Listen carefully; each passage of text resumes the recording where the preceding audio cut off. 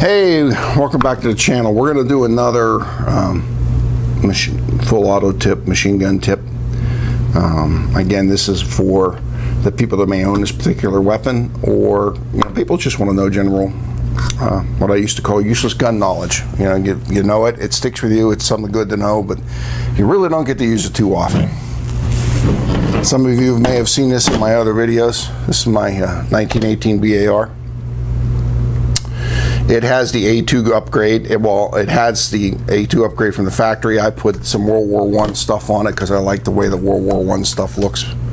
Um, and of course, I left the A2 bi-12 on it because that makes the gun much more effective.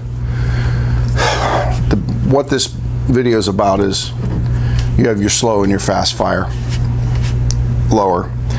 And um, if you're like us, where we have a gun club that doesn't allow full auto rifles, uh, you'd like to go out and shoot your BAR at some steel at two or three hundred yards. You'd like to have semi-automatic. Well, semi-automatic lower is the 1918 lower.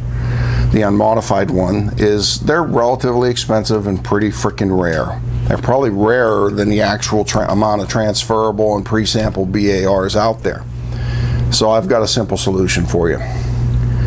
The other thing is, the other thing that my solution is going to solve is that if you watch my BAR FND video, one of the advantages to the FND is it has a pistol grip. And if you shoot the BAR at any length of time, you'll know that if you wrap your hand around the wrist, you're going to bump your nose with the back of your knuckles.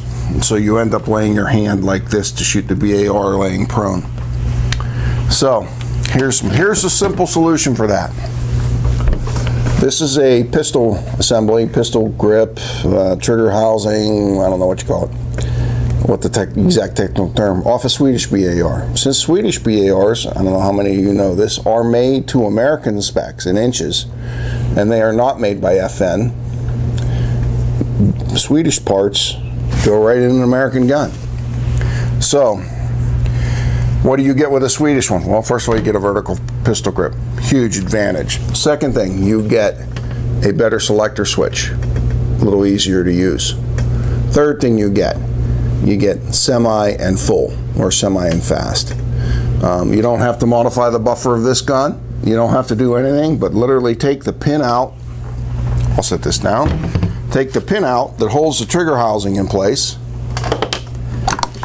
Take this out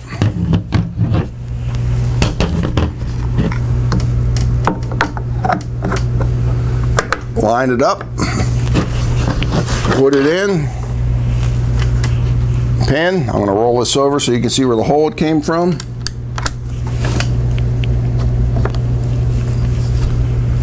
I got to get that in there and get that lined up.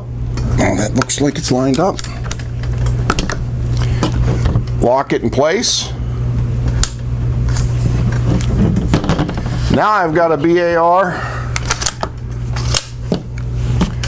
It fires semi and full, so if you're like uh, me and your gun club wants to act a little bit like a Democrat and practice gun control, and you want to shoot semi-automatic, now I've got a semi-automatic 1918. Now I have a pistol grip to shoot if I'm shooting, we like to shoot off a bench, makes it way nicer and way more comfortable. And I'm going to flip this around so we can zoom in on it.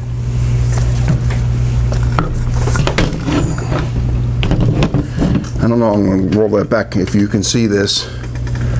You get a much nicer, and it still uses the full auto pin and everything. But instead of flipping, you're not actually flipping from fast to slow, you're flipping from semi to full. So there you go, a, a four minute video on how to make your, enjoy your BAR. There are a few people that have these. Uh, they're readily available, not readily available, but they're on the internet. If you've got one of these, uh, full auto one, this is a super good investment. Thanks for coming through the channel.